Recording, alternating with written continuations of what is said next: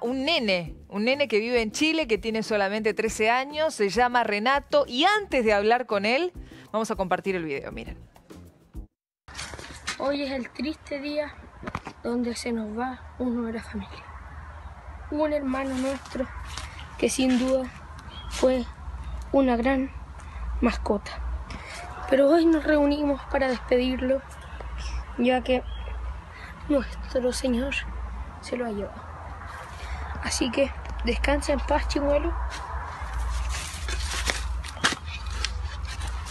Ave María, Señor Jesús, lleva al chimuelo al ataúd. Ave María, Don Cristo, lleva al chimuelo a su lugar. Chimuelo, descansa, ya estás en paz. Y ahora, el momento más triste de la jornada, sin duda. Adiós, chimuelo. Descansa en paz. ¡Eh, perro, weón, sale! Mierda, no, no, no, no, no, no. ¿Dónde coño? ¡Se lo comió! Abre la boca. Graba esto. Suelta a mi chimuelo, weona. No te voy a dejar respirar hasta que me abra la boca, mierda. Abre la boca, abre la boca, abre la boca. Bueno, después de algunos inconvenientes, ahora sí, Chimuelo va a descansar en paz. Está con un poco de baba, pero él está en paz. Adiós. Este es el video viral de este 2019. Eh, en las últimas horas surgieron eh, varios memes, como decimos ahora, ¿no? En las redes sociales, cargadas, eh, hablando de, de Chimuelo, de su dueño, Renato. Pero nosotros queremos conocer la historia real lo que hay detrás de este amor de este nene de 13 años por, por su mascota que, que falleció. Y por eso vamos a hablar con él, con Renato, vía Skype. ¿Cómo estás, Renato? Estás ahí, ahí con tu papá, te veo. Viviana te saluda. Muy bien, gracias. ¿Y tú? Muy bien. Hola al padre también. Me escuchan los dos perfectamente. Sí, hola Viviana. Escuchamos perfecto. Muchísimas gracias por estar en contacto con nosotros. Teníamos muchas ganas de hablar con ustedes. La verdad es que no sé, ustedes deben estar más sorprendidos que nosotros acá desde Argentina con, todo lo que generó el video. Imagino que, que, no tenían ni pensado, ¿no? Todo lo que se generó después en varios países, en Chile, aquí en Argentina, tengo entendido que en otros países de la región también. Sí, la verdad es que bastante sorprendido, eh, partiendo porque nunca pensamos que, que esto saliera a la luz pública, o sea, era algo totalmente casero que se compartió en algún minuto en un grupo familiar y, y, no sabemos cómo se filtró, porque este video lleva más de un mes desde que se hizo. O sea que eh, tu hermano te grabó, Renato, mientras trataban de, de, enterrar a Chimuelo y después con ese video, nada, lo compartieron eh, entre la familia, digamos, entre los íntimos y después ya perdieron noción de qué pasó. Sí. Así es. Así fue. Renato, contame. Se filtró el video. Claro, así fue que se filtró el video. Contame, eh, Renato, ¿cómo, ¿cómo tenés contacto con, con Chimuelo? ¿Cómo es que lo comprás? ¿Por qué? Bueno, a Chimuelo yo lo compré en una tienda de mascotas y yo lo vi en la jaula de los periquitos, creo, creo que les dicen allá. Eh, abajo de la jaula lo vi tirado en el suelo y que los otros periquitos le pegaban. Y así decidí comprarlo. Lo viste como, te, te dio, te dio pena que estaba solo ahí en la jaula y que los otros lo, lo Sí. atacaban. Sí, me dio lástima. Y sabía que conmigo iba a estar mejor. Bueno, ¿y qué pasó con él? ¿Por qué, por qué murió? Es un ataque al corazón.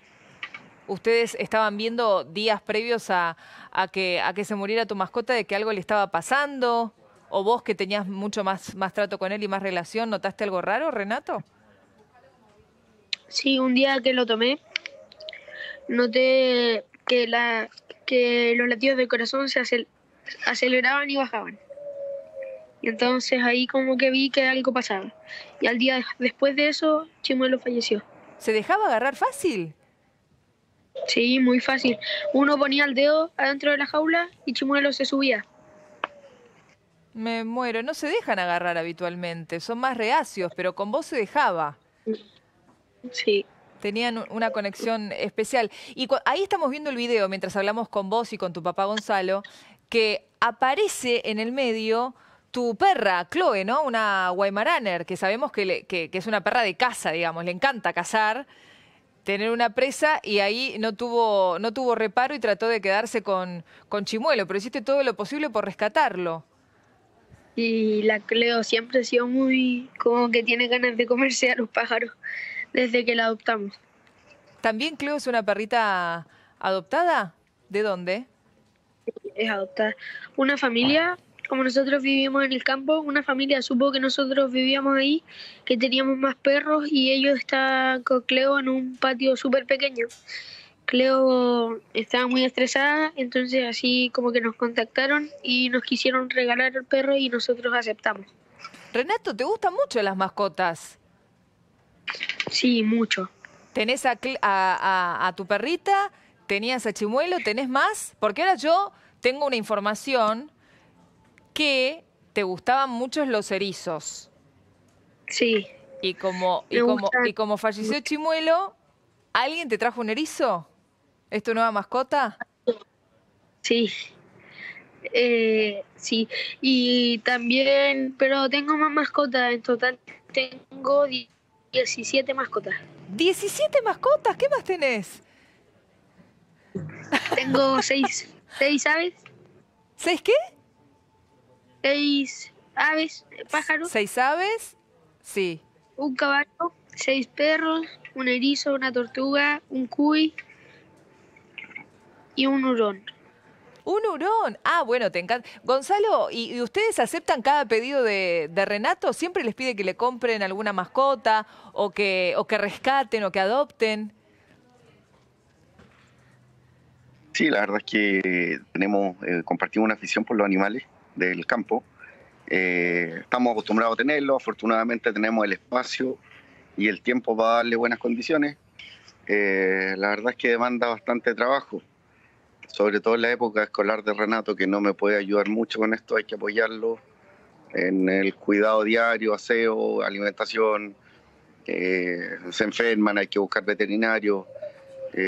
Bueno, es, es, como tener más niños. Sabés que me parece importantísimo, Gonzalo, lo que estás diciendo, porque hay muchas personas que adoptan animalitos, ya sea perro, caballo, un loro, un ave, y creen que es un juguete.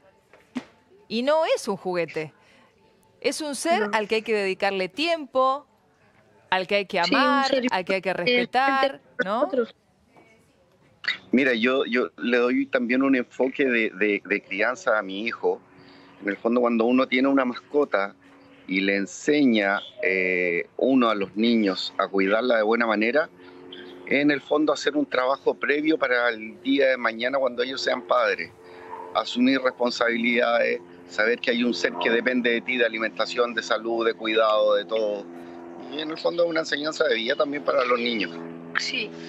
Totalmente. Renato, nosotros nos sorprendimos mucho y nos quedamos muy, muy conmovidos por la despedida que vos armaste para Chimuelo.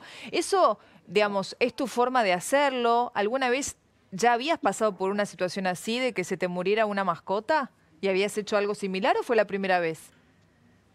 Eh, no, es la primera vez que, como por decirlo así, grabamos y hablamos tanto, pero fue muy improvisado porque de hecho ni siquiera teníamos planeado grabar. Eh, yo le digo a mi hermano Santiago, que él me grabó, le digo, acompáñame a enterrar a Chimuelo. Y llegamos al lugar y mi hermano sacó el teléfono y empezó a grabar. Y ahí surgió el video, pero nunca planeamos grabar ni nada. Y también vos en el video cantás, lo nombrás a él. ¿Eso también te surgió espontáneo? Sí, fue improvisado, no, no preparamos nada. Escúchame, y después del fallecimiento de, de, tu mascota, porque me decía tu papá que si bien el video se conoció y trascendió ahora, esto pasó hace un mes, ¿cómo fueron los días siguientes? Porque es muy triste que se muera la mascota que uno tanto quiere. No, fueron tristes y como que se sentía que Chimuelo faltaba. ¿Vos sentías que Chimuelo Faltaba, que no estaba. faltaba? Lógico, a pesar de que tenés otras aves, él tenía algo especial y vos te enamoraste desde el primer momento que lo viste. No podía volar bien, ¿no? No, tenía una deformidad genética que hacía que sus alas no crecieran. Claro, también por eso se dejaba agarrar mucho más. Sí. Le gustaba estar con vos. Eh, Renato y Gonzalo, eh, ¿qué está pasando ahora con ustedes? Además de no imaginarse el revuelo que se generó con, con el video, tenemos entendido que hay empresas que ya están hablando. Este, desde el gobierno le han acercado el erizo a Renato, que le puso el mismo nombre, también Chimuelo. ¿Tienen pensado hacer algo con todo esto que se generó o no? No, la verdad es que nunca, de hecho en algún minuto fue bastante importante el tema de, de saber si no íbamos a abrir a los medios. Eh, a raíz de este revuelo yo empecé a leer comentarios, vi un par de comentarios negativos, dije nos vamos a abrir a los medios para aclarar el contexto en que se generó, se, hubo un poco de polémica eh, por quizá un posible morbo de grabar un funeral, pero yo dije, no, quiero aclarar el tema, que todas nuestras mascotas tienen un funeral, no cantadas ni grabadas, pero es habitual en mi casa. Eh, un niño chico de 8 años fue a grabar, o, o sea, lo encuentro total y absolutamente normal. Y la improvisación del canto Renato, es, esa improvisación él la tiene desde siempre. Entonces fue una suma de cosas que puede ser visto de mala manera. Entonces decidí acceder a los medios para aclarar el contexto en que se generó. Ahora, económicamente no, la verdad es que no tenemos ningún objetivo económico. De hecho, bueno, les, les consta a ustedes, eh, nosotros damos todas las entrevistas para en el fondo dar a conocer la historia, pero no hay nada económico detrás de esto. A mí me parece No. excelente lo que decís, Gonzalo, lo que contás vos, Renato, también, que, que sos tan chico, tenés 13 años y tanta, digamos, tanta mentalidad puesta a beneficio de cuidar, de querer, de amar a las mascotas como hay que hacerlo. Y yo opino como vos, Gonzalo, ¿por qué no hacer visible la despedida de un ser que, tanto amamos y que está en nuestra casa? Por eso yo lo decía al comienzo, porque han surgido también, ustedes deben saber, ¿no? Eh, chistes, memes en las redes sociales hablando de, de Chimuelo, pero este, más allá del nombre que para algunos le puede resultar gracioso, pero vos se lo pusiste, ¿por qué le pusiste este nombre, Renato? Por una película que se llama Entrenando mi dragón, que el personaje principal tiene un dragón que tiene un problema en el ala como chimuelo y no puede volar. Entonces es como que coincidió el mismo problema y ahí el nombre, y de ahí sale el nombre. Ahí está, le pusiste igual, igual que, que el personaje de la película. Yo les agradezco a los dos por el mensaje, ¿no? Esto que vos decías, Gonzalo, nada que ver con, con- con el morbo de la situación, sino todo lo contrario. De, de- nos conmovimos, me parece. Al menos hablo por lo que pasó aquí en nuestro canal, nos conmovimos por la historia de él, de un nene tan chico y evidentemente tan rodeado de amor de familia.